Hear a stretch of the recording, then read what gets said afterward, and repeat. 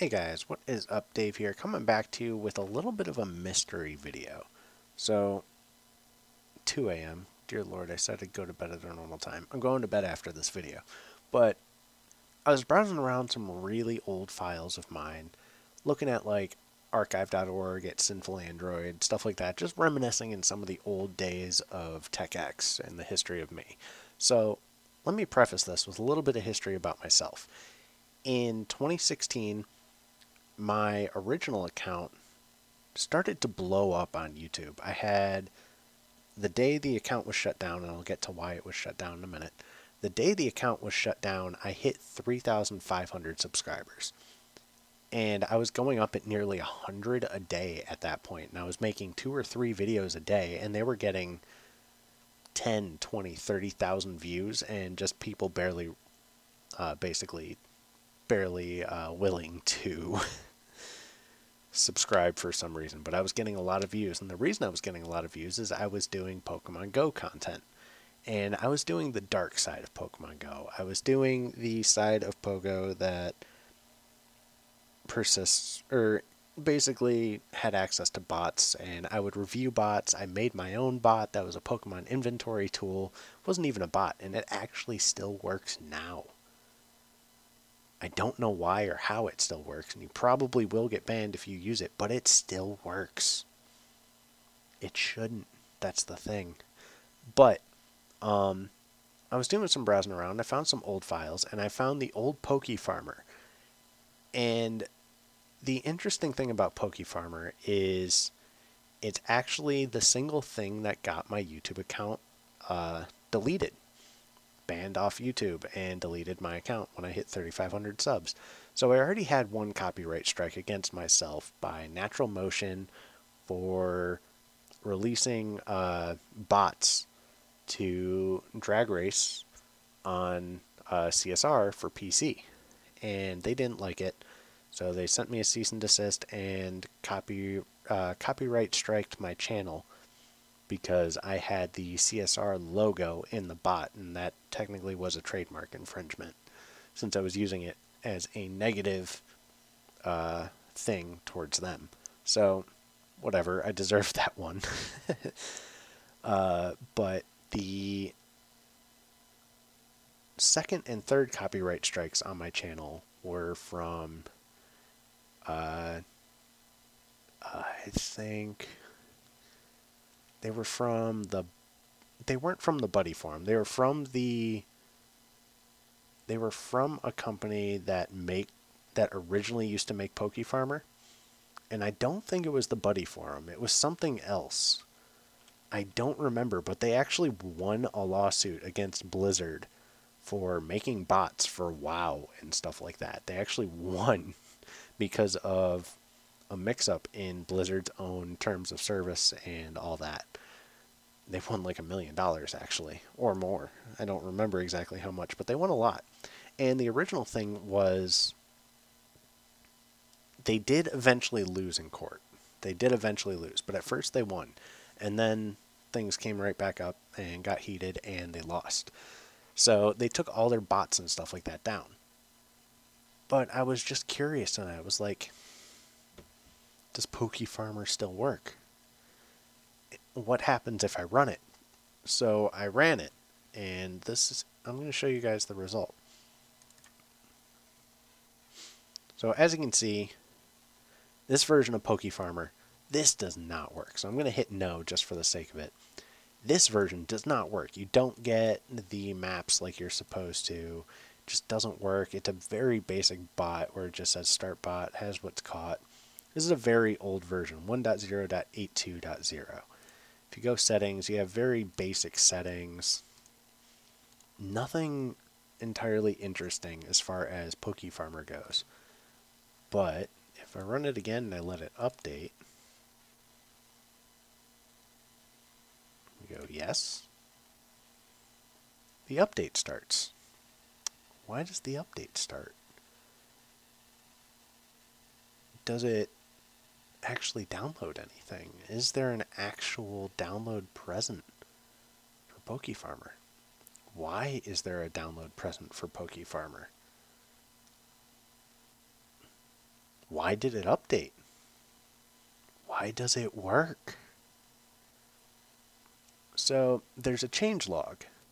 And a change log for those that aren't in the software world means basically whatever they changed or updated or fixed. It's basically exactly as it sounds, it's a log of what changed. And the change log is from, this was updated 2013. Uh, actually 2017. So changelog for PokeFarmer 2017. Build 206 supports latest Pokemon Go update without icons, fixed minor text uh, issues, implementation of a session randomization instead of the same static session ID for further to further avoid detection. No patch has been added in this version in regarding UK 27. Don't know what that means. Um, they updated and supported these versions of Pokemon Go. Uh, yeah, so 2017 is the last time this game, this bot supposedly saw an update. Here's what doesn't make sense about that. If you go in and you look, there's an API call for 0.83.2 for version, or and the bot version is 1.0.207. So Pokemon Go API 0.83.2. Let's see when that version was done up. So here's an update from Owned We can close this. So this update was around that same time, 0.83.2. And this is just some random like Necromancer bot or something like that, probably. Go Manager, which is very similar actually to the tool that I made. I think this was actually a ripoff of it, but whatever. And I'm going to download this. Server not found, of course. Um, I'll find a different link that works. But, so it supports that old API. Why does it work? if you go settings, you do need to get an auth, a uh, auth key, which I can probably bypass because I believe this can just be straight opened in DNSpy. I think. We're going to find out here in a second. I need to close what I had open in DNSpy because I was reverse engineering a, a uh, Unity game. I don't think you can straight open this. No, you have to dump it first, so that's okay. Um, I believe patched you can just straight open. Hold on. I meant to try that one. Forgot. Nope, that one is also literally patched, so you can't open it. Got it. Um, but for some odd reason, you can open this. Why can you open it? What is going on here that I can open this and it runs and kind of works? it's very strange. So if I was somehow able to get an authorization key, what would happen? And the other thing on top of this is it does it does it get some of the stuff from a server list? Or is it actually updated further than it states? Because when did they add Gen 3, for example? So, Pokemon Go Gen 3 add.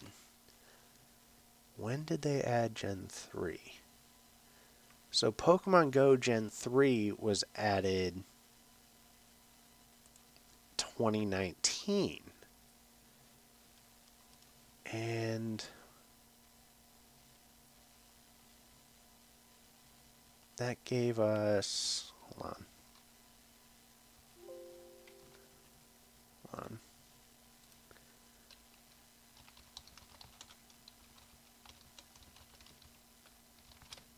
What generation?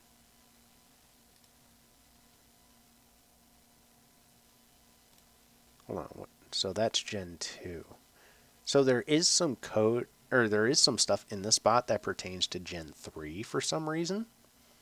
But also, as you can see, at least here in the Pokemon list, it goes as far as Gen 2.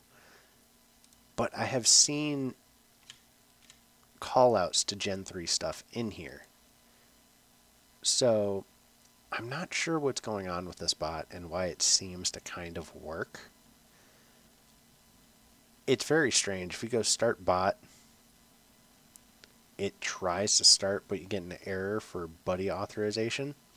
And if you go to that, you just have to log into your buddy account, and they don't seem to have the give you the ability to buy keys for Pokemon Go at all. You can only do Demon Buddy, Exile Buddy, and Reborn Buddy, which I don't know what those are for. But whatever. Um, so it's kind of a mystery as to why this somewhat works. I'm so here's my you know quote unquote outro to this video on the mystery. Some of the stuff reads from a server, and maybe there's a private version of the bot that still actually happens to work, or it's just stuff that's like an auto-generated API thing that maybe quote unquote they forgot to disable, so that's why it works. But Poke Farmer seems to kind of work. And I don't understand why. And I'm going to attempt to crack it again, like I did in the past, but I don't remember how I did it in the past. But I'm going to attempt to crack it again, and we'll go from there, and maybe I'll make an update video, maybe I won't. If you don't find an update video in the next two weeks, this is a bust of a mystery. If you do find an update in two weeks, maybe watch that video. I'll talk to you guys later. Hope you guys enjoyed. Peace out.